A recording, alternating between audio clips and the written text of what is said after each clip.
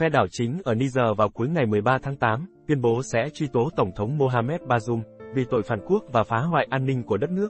Theo đại tá Amado Abdirahman, quân đội đã thu thập bằng chứng để truy tố Tổng thống và các đồng phạm trong và ngoài nước liên quan các cáo buộc phản quốc và phá hoại an ninh bên trong lẫn bên ngoài của Niger. Các thông báo mới nhất được đưa ra chỉ vài giờ sau khi phe đảo chính nói sẵn sàng sử dụng ngoại giao để giải quyết bế tắc với cộng đồng kinh tế Tây Phi, ECOWAS, theo thông tin được nhóm học giả Hồi giáo cấp cao của Nigeria công bố hôm 13 tháng 8, Reuters đưa tin. Ông Sheikh Abdullahi Balalau, người dẫn đầu phái đoàn, cho biết cuộc gặp của nhóm với tướng Abdurrahman Tiani, lãnh đạo chính quyền quân sự Niger, kéo dài vài giờ. Ông ấy nói rằng cánh cửa của họ đã được mở nhằm tìm giải pháp ngoại giao và hòa bình trong việc giải quyết vấn đề, theo ông Lau. Chính quyền quân sự Niger không bình luận sau cuộc họp. Tuy nhiên, những phát biểu của ông Tiani là một trong số ít dấu hiệu cho thấy ông sẵn sàng đàm phán. Phe đảo chính Niger đã dọa giết tổng thống nếu bị tấn công. Các nhà lãnh đạo cuộc đảo chính trước đó đã từ chối các nỗ lực ngoại giao của ECOWAS, Mỹ và các nước khác. Điều này đã làm dấy lên nỗi ám ảnh về xung đột tiếp theo ở khu vực Sahel nghèo khó ở Tây Phi, nơi đang phải đối phó với sự trỗi dậy của làn sóng khủng bố Hồi giáo cực đoan. Với tình hình ngoại giao đang chững lại vào tuần trước, ECOWAS đã kích hoạt một lực lượng quân sự dự phòng, mà họ cho biết sẽ được triển khai như phương sách cuối cùng nếu các cuộc đàm phán thất bại. Sau những diễn biến nhanh chóng, giới phân tích nhận định Pháp và phương Tây đang bị đuổi ra khỏi Niger, và hình bóng nước Nga đã bắt đầu xuất hiện trên đường phố thủ đô Niamey của Niger. Trong khi Tổng thống Mohamed Bazoum bị binh lính giam giữ tại dinh Tổng thống ở Niamey, thì những tình huống căng thẳng vẫn tiếp diễn trên các đường phố. Người Niger ủng hộ đảo chính, một số người vẫy cờ Nga, hô vang, Putin muôn năm, và đà đảo Pháp, trong khi tấm biển tại Đại sứ quán Pháp đã bị phá bỏ. Những hình ảnh căng thẳng đó làm chấn động điện Élysée ở Paris, cách xa hàng ngàn dặm. Tổng thống Pháp Macron đe dọa sẽ trả đũa bất kỳ cuộc tấn công nào nhằm vào công dân Pháp và lên án cuộc đảo chính là hoàn toàn bất hợp pháp và cực kỳ nguy hiểm đối với người Niger, đất nước Niger và toàn khu vực. Mỹ cùng các quốc gia phương Tây khác cũng lên án cuộc đảo chính và khối ECOWAS đe dọa sẽ can thiệp quân sự nếu ông Bazoum không được phục hồi chức vụ. Tổng thống Mỹ Joe Biden đã kêu gọi trả tự do ngay lập tức cho ông Bazoum, nói rằng Washington sát cánh cùng người dân Niger khi đất nước này phải đối mặt với thách thức nghiêm trọng đối với nền dân chủ của mình. Mười ngày sau đảo chính, hầu hết công dân và những người làm việc trong các cơ quan đại diện ngoại giao của Pháp, Anh, Mỹ và các nước đồng minh khác đã được sơ tán khỏi Niamey. Những động thái đó nói lên sự bất lực của Pháp và đồng minh phương Tây tại Niger nói riêng, toàn châu Phi nói chung. Một câu hỏi lớn được đặt ra là, tại sao người dân Niger ủng hộ phe đảo chính? Cần nhớ rằng các cuộc đảo chính quân sự ở châu Phi, thường kéo theo sau đó là cuộc đụng độ đẫm máu, giữa quân đội làm đảo chính với người dân bảo vệ quyền tự do, dân chủ tại đất nước của họ. Nhưng, ở Niger, không có chuyện đó xảy ra, thậm chí người dân còn ủng hộ phe đảo chính. Cuộc đảo chính tại Niger đã đào sâu thêm vấn đề của Pháp, tại các nước thuộc địa cũ đồng thời mở ra thêm cơ hội gia tăng ảnh hưởng của Nga tại lục địa đen. Niger là thuộc địa của Pháp trong hơn 60 năm, trước khi nước này giành độc lập vào năm 1960. Quan hệ ngoại giao giữa hai nước rất bền chặt trước cuộc đảo chính hôm 31 tháng 7, nhưng nhiều người Niger tin rằng Pháp tiếp tục hành động như một cường quốc trong quan hệ với Niger. Đất nước Niger giàu tài nguyên thiên nhiên, dầu mỏ và nhiều loại khoáng sản có giá trị cao. Nhưng, thực trạng đời sống của người dân Niger không tương xứng với tiềm năng giàu có đó. Niger là một trong những quốc gia nghèo nhất thế giới, và nhận được hàng trăm triệu USD hỗ trợ mỗi năm. Người dân Niger tin rằng, phần lớn tài nguyên thiên nhiên của nước họ đã bị bòn rút một cách có hệ thống trong suốt nhiều năm qua, và các nhà lãnh đạo của Niger được xem là chịu sự chi phối của Paris trong việc lèo lái nền kinh tế đất nước. Karimo Sidi, một trong những người biểu tình nói, Niger đã phải chịu đựng quá nhiều dưới mệnh lệnh của Pháp. Tôi đã thất nghiệp 10 năm vì hệ thống của họ. Chúng tôi muốn tự do. Còn Hadiza Kanto, một sinh viên đại học tham gia biểu tình cho biết, anh ủng hộ những người lãnh đạo cuộc đảo chính, vì họ chống lại nước Pháp đã cướp đi tất cả của chúng tôi. Chúng tôi sẽ đưa Pháp ra khỏi châu Phi. Trong những năm gần đây, Nga đã có những hoạt động mở rộng quan hệ với các quốc gia châu Phi, đã tận dụng tâm lý chống thực dân này để củng cố ảnh hưởng của mình trên khắp lục địa. 17 nguyên thủ quốc gia châu Phi đã tới Saint Petersburg vào ngày 27 tháng 7 để tham dự hội nghị thượng đỉnh Nga châu Phi.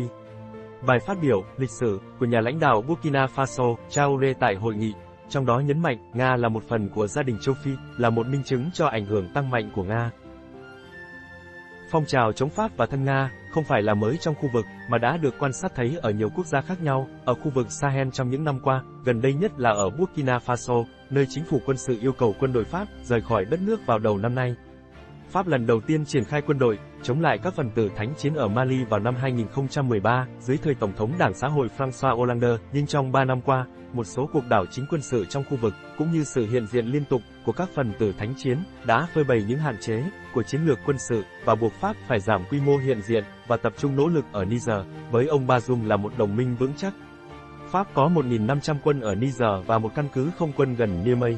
Tại Mali, một cuộc đảo chính vào năm 2020 đã dẫn đến bế tắc ngoại giao với Pháp, quốc gia đã rút quân vào năm ngoái. Pháp cũng rời khỏi Burkina Faso sau hai cuộc đảo chính vào năm ngoái, điều đã mang lại một chính quyền theo đường lối dân tộc chủ nghĩa. Niagale Bagayoko, một nhà khoa học chính trị và chuyên gia quốc phòng, nói với đài phát thanh Frank Inter rằng, nhóm các quốc gia G5 Sahel được thành lập để chống lại cuộc nổi dậy của các phần tử thánh chiến, hiện có phần lớn các chính quyền quân sự.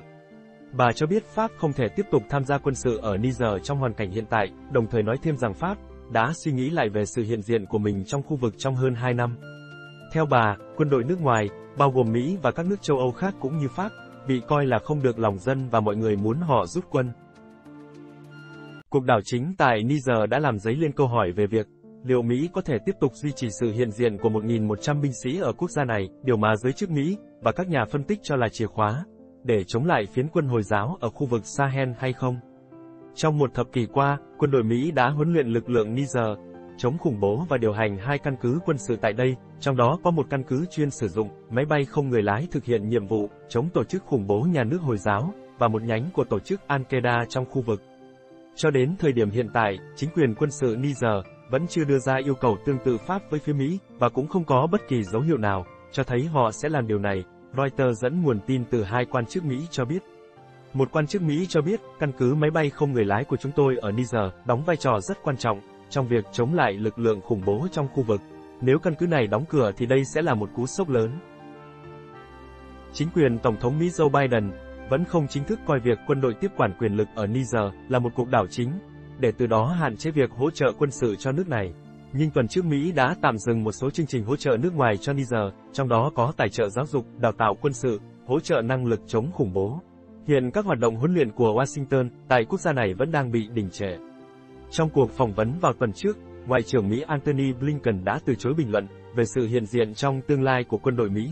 Được biết, Washington đã chỉ khoảng 500 triệu đô la Mỹ để huấn luyện và trang bị cho lực lượng vũ trang của Niger.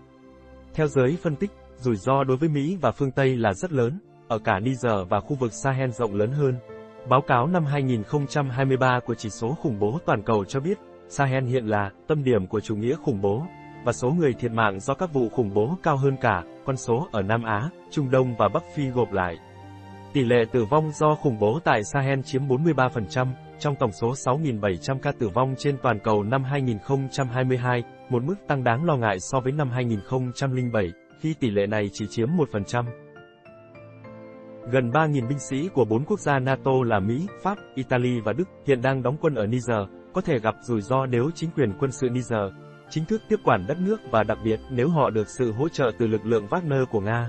Căn cứ máy bay không người lái lớn của Mỹ, được xây dựng với kinh phí 110 triệu đô la Mỹ, cũng có nguy cơ bị nhắm mục tiêu.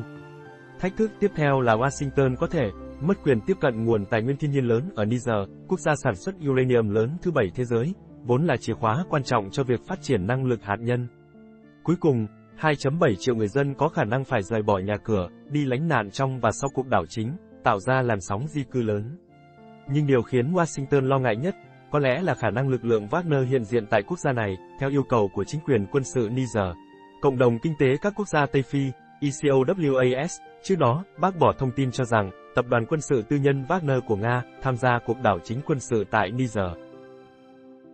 Nhưng theo ông Abdel Fattah Musa, Ủy viên ECOWAS phụ trách các vấn đề chính trị, hòa bình và an ninh, Wagner vẫn có thể hưởng lợi từ tình hình dù không tham gia đảo chính.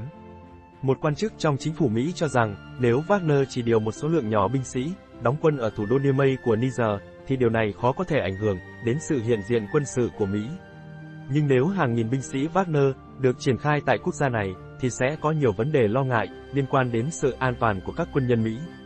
Bất chấp mối lo ngại trên, quan chức Mỹ vẫn cho rằng không có bất cứ mối đe dọa nào có thể buộc họ phải rời khỏi Niger, trừ khi chính phủ của quốc gia này yêu cầu Washington làm như vậy.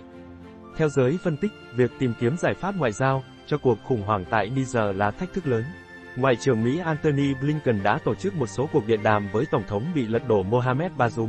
Còn Thứ trưởng Ngoại giao Mỹ phụ trách các vấn đề chính trị, Victoria Nuland đã gặp một số thành viên của phe đảo chính ở Niger vào ngày 7 tháng 8.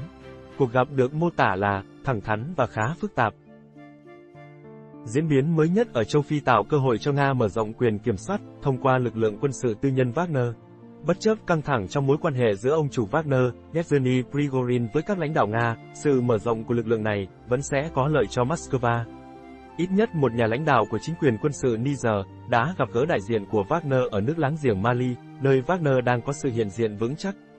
Việc tiếp quản Niger có thể giúp Nga đạt được sự hiện diện gần như hoàn toàn Sahel, một vành đai rộng gần 1.2 triệu dặm vuông gồm với hơn 80 triệu dân, trải dài từ bờ biển này sang bờ biển kia của châu Phi. Wazer đến nay đã có mặt ở Cộng hòa Trung Phi và Sudan, đồng thời đang thâm nhập vào Burkina Faso. Cảm ơn các bạn đã xem bản tin.